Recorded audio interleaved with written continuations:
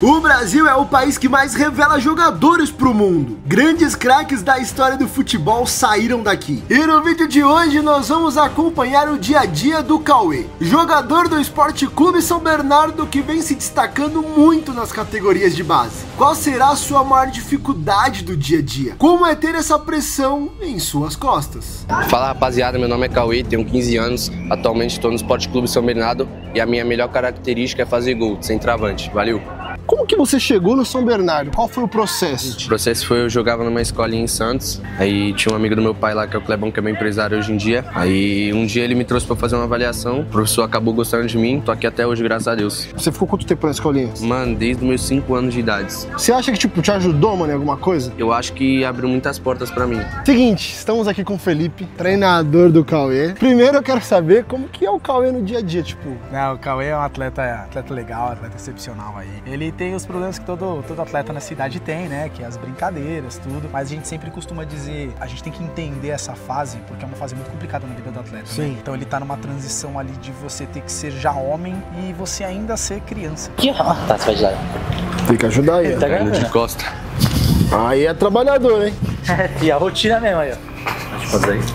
Vai. Vamos treinar agora, né? E eu, pra treinar. Você sabe qual que é o treino hoje? Tava na programação construção ofensiva, sim. Depois de todo o treinamento, tem coletivo ou tipo, é só quando o cara, quando o treinador quiser? Não, é quando ele quiser. Você promete um gol se tiver coletivo? Prometo, prometo. Quantos, vai? Dois. Comemoração. Você tem alguma comemoração característica, né? Tipo, não tem isso. Às vezes eu gosto de metralhar a torcida no... Cara, tipo o Patrick de Paula, né? Vai estar tá lá pelado, tá? Então a gente vai te lá pelado durante o treino e vamos ver como que é, mano. Vamos ver o que, que ele fala, sem ofender ninguém, beleza, mano? Meu cargo tá nos pés deles, né? Sim. A diretoria, a, a, tia da cozinha. Então, assim, é uma responsabilidade muito grande que eles têm que carregar numa idade muito nova. Mas a gente, a gente entende que é, que é mais criancice ainda, Sim. né? Não amadureceu do que realmente outra coisa. Mano, eu tô aqui com o Gabriel, assessor do São Bernardo, e eu quero saber de você como que ele é no dia a dia. Você deve conviver bastante com ele, deve filmar muito ele. Cara, filmo muito. O Cauê K9 é um atleta bem especial, né? É um cara que realmente vai para cima, encara mesmo o adversário e é um ativo do clube. A gente vê muito potencial nele, o pessoal aqui vê muito potencial nele de crescimento. Seguinte, agora o que você vai fazer? Vou lá jogar maltinha com meus cria, né? Mano, quando você chegou aqui para fazer o teste, dá uma tremidinha, tipo, mano, Agora é só depende de mim. É, só dependia de mim, né? Por isso que quando eu cheguei aqui eu foquei, comecei a trabalhar firme, forte, todos os dias. A porta pra virar jogador de futebol é muito estreita, né, mano? Muito. Qual que é o caminho? Porque muita gente que assiste a gente tem vontade de estar na base de um clube jogando. O que, que você fez que te diferenciou para você estar tá aqui hoje, você sabe? Ah, eu acho que a minha dedicação, né, dentro de campo. Tipo, você acha que é mais o esforço, a batalha é, diária, né? Se dedicando nos treinos, se alimentando bem fora de campo. Mano, é difícil bem. se alimentar, fala a verdade. É muito difícil. Eu, às Nossa. vezes, eu não me controlo, mas. Mano, ó, exemplo, tem o Walter, que ele é fissurado em bolacha recheada. O que, que mais te pega e você fala, mano, isso aqui, mano. Eu... Me controla, mas é difícil. Ah, bolacha, salgadinho, mas eu tentei evitar muito. Ei! Cadu!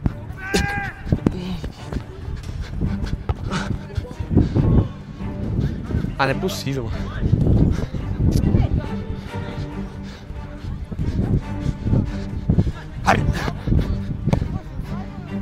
Caralho, Marcão, não é possível, Marcão. Acabei de falar. Um, dois, Arthur. Arthur do céu, mano. Pro meio, pro meio, forte. Irmão. É natural, você vê ali o atleta e logo no começo você vê que a equipe respeita muito ele. A equipe procura ele. Então o atleta, o Cauê é um atleta que ele tem essa característica de ser bastante líder, né? Eu falei para ele, falei, pô, cobra positivamente. O Cauê nos treinos, assim, com os companheiros, ele tem bastante respeito dos atletas, né? Do nosso elenco aqui, ele é um, ele é um líder. Como que é na escola para você? Como que, tipo, as pessoas te tratam? É normal? É, eles não gostam da gente. Tá? É porque, mano, vocês devem bagaçar no interclasse também, né? Pior que eu não tenho nem interclasse na escola, mano. Nossa. Mas, tipo, em questão de matéria, assim, português, matemática, história. Qual matéria você gosta mais, assim? É história. Piorzinho, mas, mas gosto. Dá, João, caralho! Porra!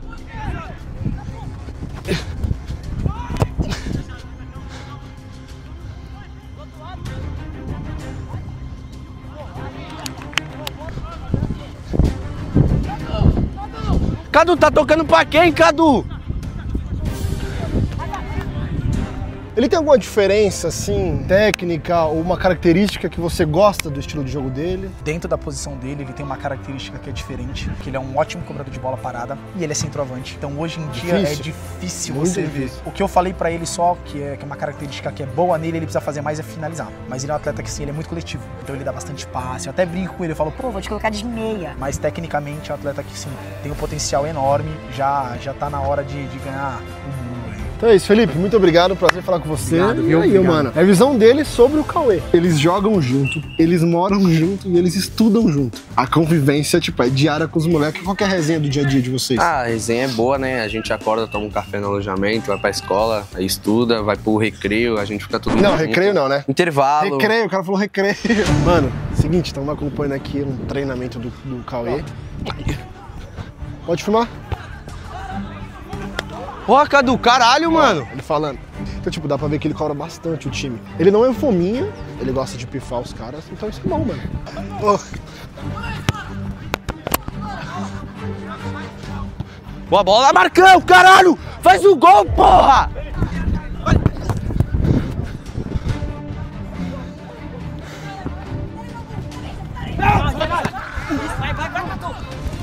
E, mano, se você não fosse jogador de futebol, tem alguma parada que você gostaria de ser? Quando eu era pequenininho, antes de jogar futebol, eu tinha umas músicas, eu começava a cantar lá, sabia? Ah, caramba, da hora, mano. Tem muito jogador. Sabia que o Anderson Talice, que é trapper, né? Sabia disso? Não. Ao mesmo tempo que o Brasil revela muito jogador, tem muito jogador que para no meio do caminho e desistem do seu maior sonho. Pra você desenhar o sonho assim na sua carreira, qual que seria? Tipo, mano, eu gosto, eu queria muito um dia jogar uma Copa do Mundo, sei lá, ganhar uma Libertadores, uma Champions. Qual que é o bagulho que você mais almeja profissional? Meu sonho é chegar em um clube de Champions League. Meu Mano, se um dia você for jogar Champions, você pode, por favor, me chamar, mano, pra ver um jogo Lógico. seu?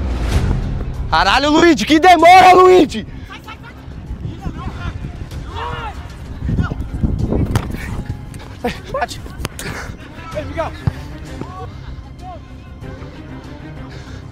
Mais uma, João, pra passar, João. Baza. Calma, Baza. Meu Deus, Baza, tá...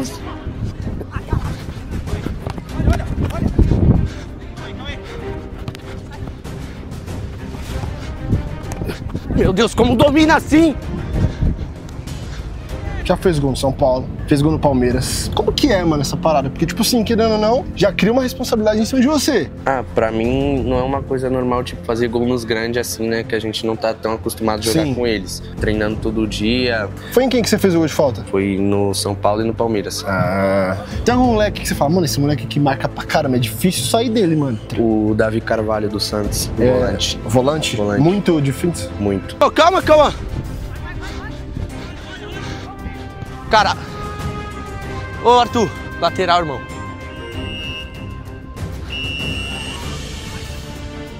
A maioria dos jogadores de futebol tem aquele start, tipo assim, mano, eu quero, eu quero ser jogador de futebol por conta disso. De onde que surgiu a sua vontade? O porquê você quis ser jogador de futebol? Desde pequenininho também eu já tinha um sonho de ser jogador de futebol, porque é, meu pai já me levava pra várzea, eu acompanhei desde pequenininho, meu pai jogando várzea e tal, me levando pra jogo. Aí eu teve esse gosto desde criança, desde dois anos de idade eu já ficava chutando bola, comecei a focar, graças a Deus tô aqui hoje. Ó, vamos dar uma música dele, vai. O partir Guarujá. Convida só os parceiros, as novinhas passou mais e fechar com os guerreiros.